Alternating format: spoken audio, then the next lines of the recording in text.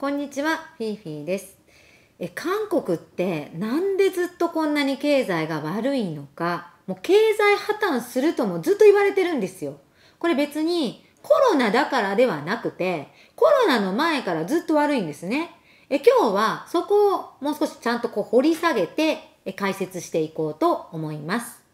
え韓国は現在コロナによる経済的なダメージを緩和するために277兆ウォン、日本円で約24.7兆円規模の経済対策を進めています。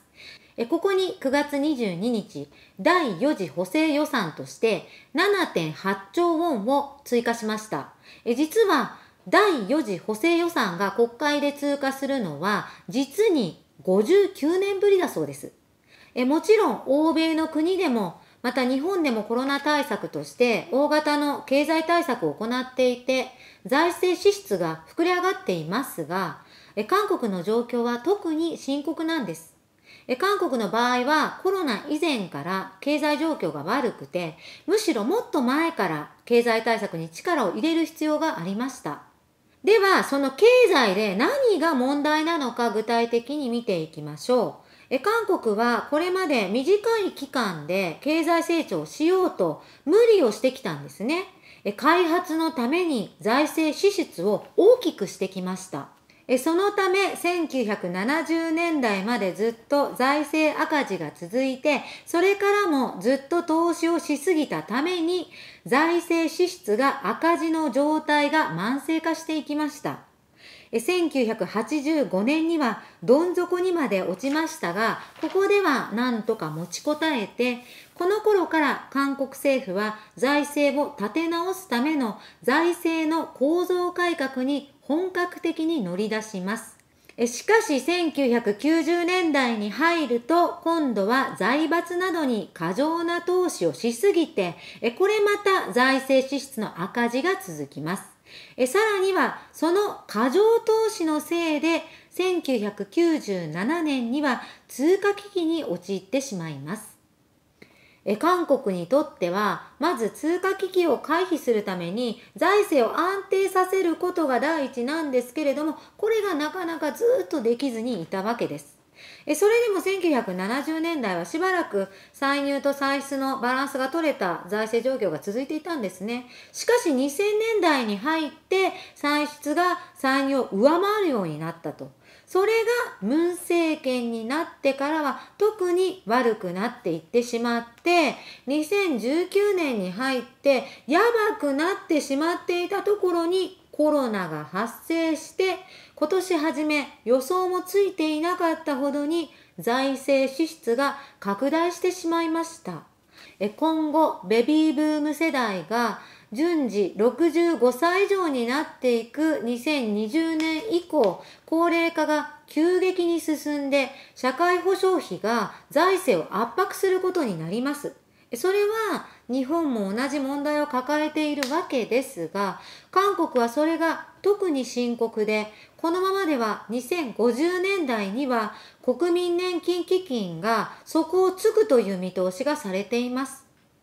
高齢化が進む中で財政の再建をしたところで財政赤字を引きずるだろうとも見られていていつ何時通貨危機が起こってもおかしくない状態に韓国はあります。そういう経済構造にあるというんです。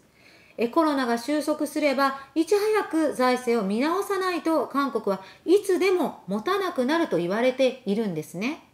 ただやはり今の韓国の経済状況を悪化させたのはムン大統領の経済政策の影響が大きかったんです。また経済政策以外にもムン政権下ではいろんな問題が起きて韓国をダメにしてきました。もうムン大統領自身の支持率も下がっていきました。一体何があったのでしょうか？まとめてみました。えムン大統領への風当たりはどんどん今強くなってきています。え本当なんでしょうか？え何をやっても失敗ばかりの経済政策、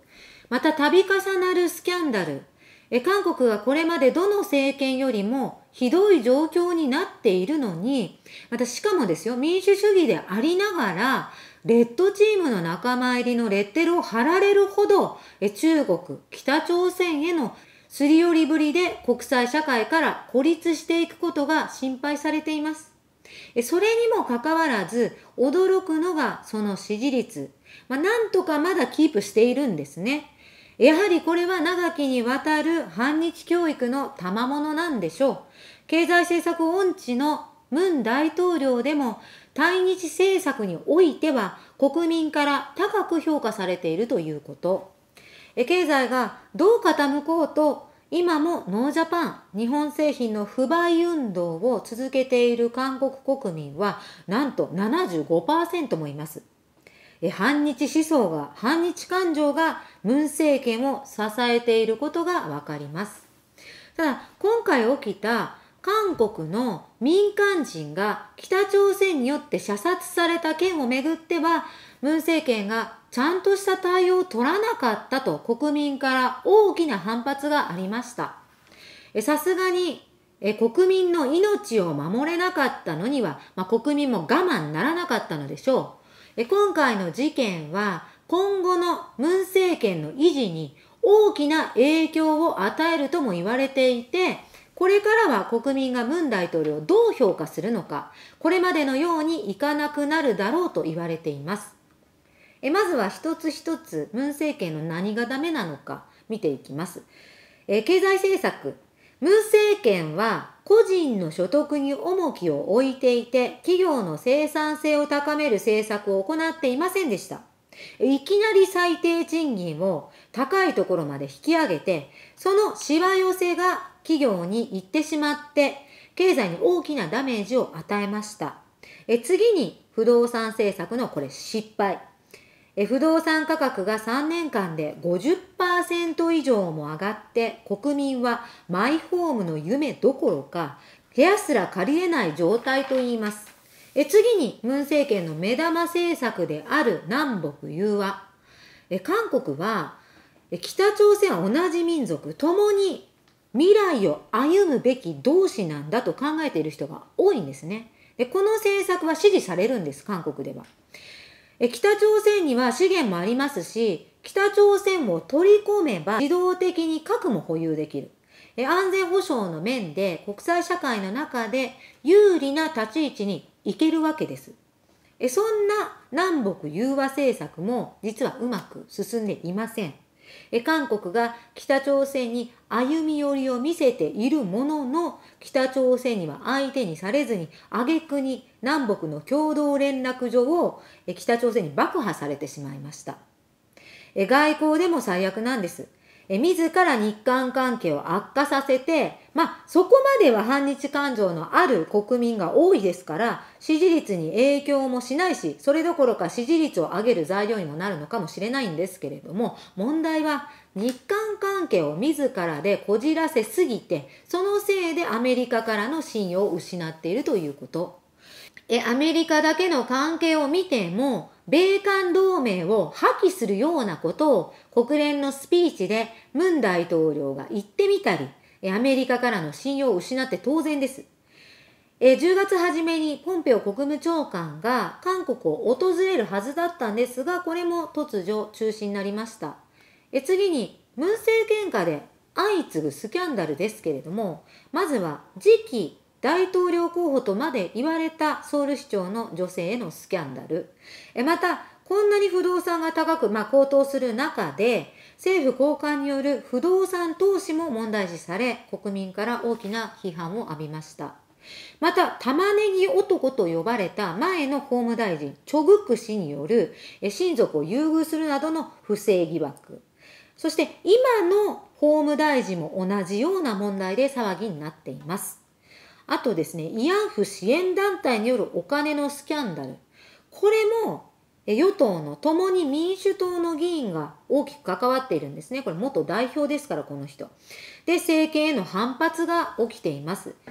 えあともう一つですね、4月に行われた総選挙の不正疑惑。えこれも、もし暴露されてしまえば、これは本当にやばいです。ムン政権終わってしまうかもしれないんです。えこのようにムン政権の足元を揺るがす疑惑が続いているわけですね。で、これらの問題にムン政権はちゃんと対応できていないんです。え経済政策の失敗は数字をごまかす、隠す。あと、そもそも韓国国内では経済が悪化していることを積極的に報じてはいないので、ここも問題なんです。だから、のんきに国民は、もう75%でした、国民の。不買運動をしていられるんです。どんどん経済は悪化しています。そして、法務大臣や慰安婦支援団体元代表による不正疑惑は、親日派によるでち上げだと、まあ、責任転嫁しています。4月に行われた総選挙での不正疑惑はもみ消し、日韓関係では歴史の歪曲、日韓合意の破棄で、まあ、それが経済にも影響するようにまでなりました。北朝鮮との関係は今も朝鮮民族で結束と、まあ、友好と、これで乗り越えられると妄想を抱いています。ただ、外から見れば、こんなひどいムン政権ですが、韓国国民にはその実態が見えていないのでしょうか。今までの政権よりはマシだとか、他の国のリーダーよりは優れていると本気で思っているのでしょう。え日本に打ち勝った脱日本できたコロナに打ち勝ったコロナに克服したというアピールだけは本当にうまいのでえしかし今回の北朝鮮による韓国民間人の射殺事件以降どうも様子が変わってきているといいます。え韓国国民のムン政権を見る目が厳しくなっているんです。政府寄りで知られる KBS が行った世論調査によると、この件をめぐる政府の対応をどう思うのかという質問に68.6%の人が間違っていると答えています。評価すると答えたのは21.8%だけでした。しかもこの調査では、ムン政権の北朝鮮政策についても質問しているんですけれども、これも54.9%が間違っていると答えていて、評価すると答えているのは40%だけだったんです。え韓国の国民の多くは、今回の事件について、え韓国軍は北朝鮮が韓国の民間人を射殺する前に、え情報が届いていたわけだし、救助できたはず。船から足を滑らせて海に転落した可能性が高いのに、この男性は自ら北朝鮮に渡るために海に飛び込んだと。政府はこう判断、こう断定したと。えこれは彼の名誉を傷つけるものだと反発をしています。えわずか数時間で真相も確認しないまま、いとも簡単に人を殺めてしまうような国、この北朝鮮からムン政権は守ってくれない。国民を守ってくれない政権なんだと、国民はムン政権に不信感を持ち始めているのです。えしかも、韓国政府はこの事件についてその内容を把握していたにもかかわらず、これを公に発表することをあえて遅らせていたとの見方もされています。えちょうどこの事件が起きた時、国連では総会が開かれていたんですけれども、今回はコロナの対応のために各国の代表から事前にビデオメッセージを送ってもらってそれを流すという方法をとっていたんですね。北朝鮮による射殺事件より前にムン大統領もメッセージの映像を国連に送っていたんですがこれには南北融和へのムン大統領による熱いメッセージが含まれていたんですね。どんなものかというと終戦宣言をして南北共に歩もうと、まあ、しかもそれを世界に協力してほしいとこう促していたんです。このビデオメッセージで。でちょうどこのメッセージが流れると同時期に事件が起きてしまった。つまりこのメッセージが流れる時に北朝鮮による韓国の民間人の射殺なんてニュースが流れてしまっては、ムン政権には都合が悪いので、意図的に公表を遅らせたというんです。えこれでは韓国国民が怒って当然でしょう。まあ、しかもこの事件を受けた後、え北朝鮮のキム委員長が謝罪のメッセージを韓国側に出しているんです。北朝鮮のトップが謝罪するのは異例中の異例。この謝罪すらも、ムン政権は北朝鮮が韓国に謝罪するほど南北の関係は改善していると自分の手柄にしようとしたわけです。ムン大統領は9月の28日にこの件で亡くなった男性へ哀悼の意を表明しましたが、その直後に与党がえ男性がなぜ北朝鮮の海域にいたのかという経緯についてやはり男性が自ら北朝鮮を目指し海に飛び込んだと結論付けました。ムン政権は北朝鮮と共同で調査するとしていましたがこれについても情報交換や、まあ、共に操作する状況にはなっていないようでここでもムン政権の北朝鮮への弱腰が露呈してしまいました。北朝鮮との関係を重視するあまり韓国国民の生命と安全を守れなかったと国民に見なされたムン政権。そもそも国民のために一つでもまともにやった政策があったでしょうか。ようやく気づき始めた韓国国民半日だけでムン政権の支持率を支えてきましたがここに来て大きな局面にぶつかっているのかもしれません。さてここまでお話ししてきましたが皆さんはどうお感じになりましたでしょうか？コメント欄にどんどんご意見をお寄せください。そしてフィーフィーチャンネルの登録もお願いします。